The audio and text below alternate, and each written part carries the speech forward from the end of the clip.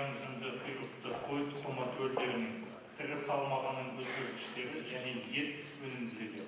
баяндама жасайтын әбдікәрімов мирхат қазақ ұлттық аграрлық университетінің мал шаруашылығы өнімдерінің өндіру технология мамандығының екінші курс магистранты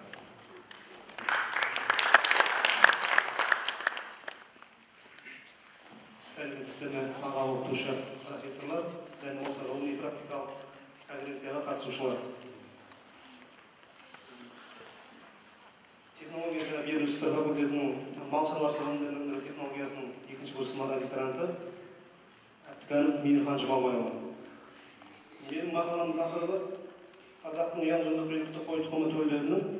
тірі салмағының өзгергіштігі және ет өнімділігі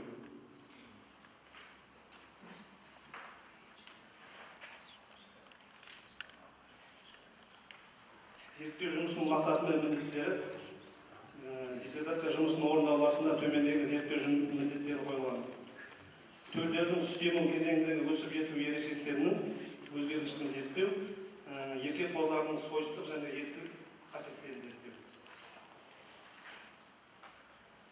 зерттеу материалдары мен әдістемесі жұмыста зоотехникалық зерттеулердің негізгі әдістемелері қолданды еттілік қасиеттері еркек қозылардың төрт айлығында сойып бақылау нәтижесі бүкіл одақтық мал шаруашылығы институтының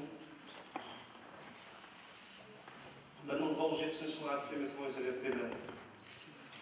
Сандық деректер меркурий бір мың тоғыз жүз жетпіс әдістемесі бойынша зерттелді. Зерттеу жұмысының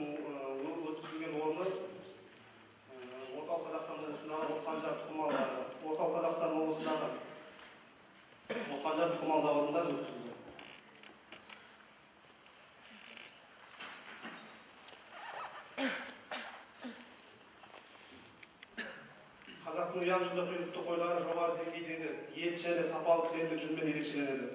жүннің жүннің бұл түрі ақ және ақшыл түсті болып келеді және жоғары сапалы кілемдер мен костюмдік пантолық маталар және трикотаж бұйымдар жасауға кеңінен қолданылады мынау осы зерттеу жұмысын жүргізген ұяң қошқары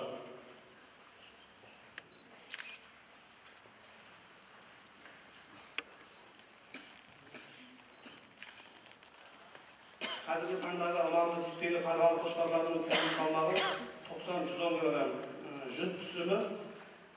4 кг 200 грамм және 4 кг 800 грамм аралығында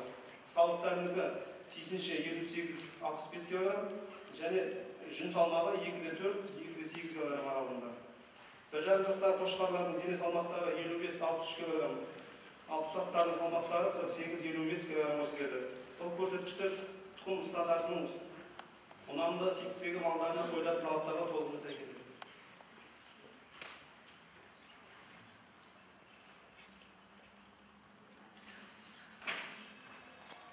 аталған тұқым терісінен түсі әртүрлі жеңілді жарасымды және өте жылы қысқа тондар тігіледі. Аталған тұқым қойларын өсіру еліміздің халқын дәмді де сапалы қой және қоз етімен ал жеңіл өнеркәсіпті жоғары сұранысқа ие ақ және ақшыл түсті ұяң жүнмен қамтамасыз етуге белгілі бір деңгейде әсерін тигізеді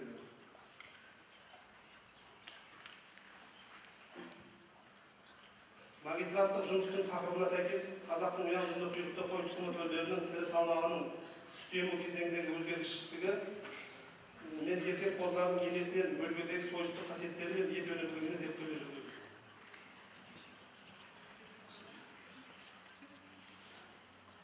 бұл кестеде зерттеу нәтижелері көрсеткендей қазақтың құйрықты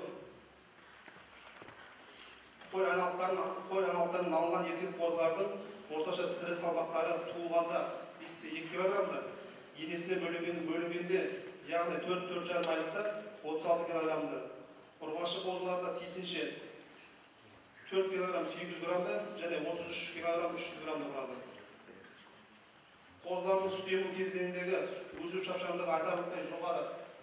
деңгейде. Бұл көрсеткіш яғни тәуліктік салмақ өсімі еркек қозыларда екі жүз елу алты граммға ұрғашы қозылардікі екі жүз отыз жеті граммға теңеседі бұл көрсеткіштер елімізде өсіріліп жоғар жоғары өнімді еділбай сарапта қазақтың құйрықты қылшықшынды қой тұқымдарынан көп қалыспайды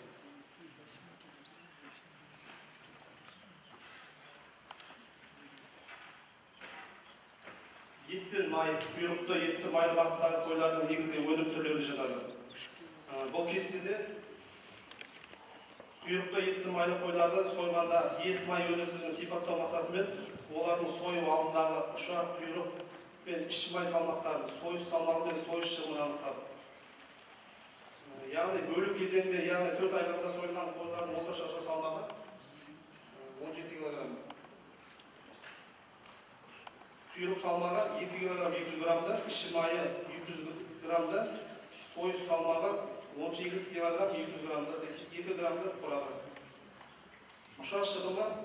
51 пайызға, сойыс шығымы 51,8 пайызға тең келеді. Малдың еттілік қасиеттерін ұшағының құрамындағы соқ еттің үлестілік деңгейіне қарап бағалайды. Біздің тәжірибедегі еркек қоздардың ұшағындағы бұл көрсеткіш 80 пайызды құрады.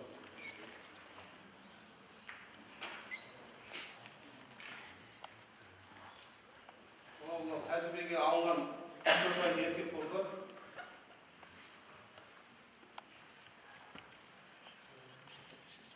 мынау бұл тәжірибе жұмыстарын жүргізу барысында салмағын өлшеу және жасын тексеру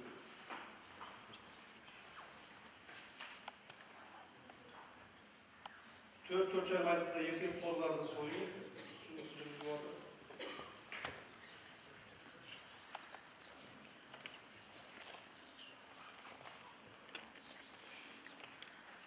жатыр келгенде тәжірибемізде алынған деректер орталық қазақстанда өсірілетін қазақтың ұяң жүзді құйрықты қой тұқымы қозыларының сүт ему кезеңіндегі өсіп сойыстық еттілік қасиеттерінің жоғары деңгейде екендігін және ол белгілер бойынша еттілік майлылығы жақсы дамыған таңдаулы қой тұқымдарынан қалыспайтынын көрсетеді.